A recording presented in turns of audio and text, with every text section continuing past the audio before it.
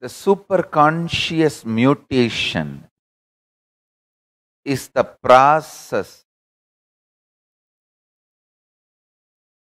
happens in you when the six are added. One conscious will satya sankalpa.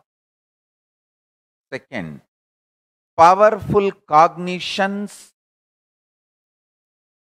supporting the satya sankalpa third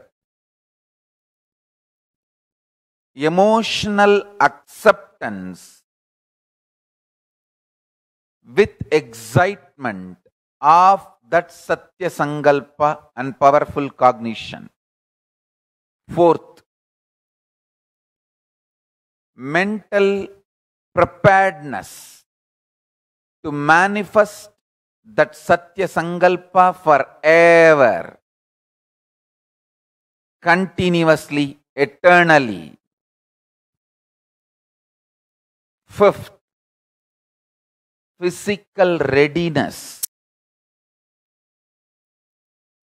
to live and manifest this Satya Sankalpa. Sixth, initiation and alchemy process by Guru. Jnana Rasavada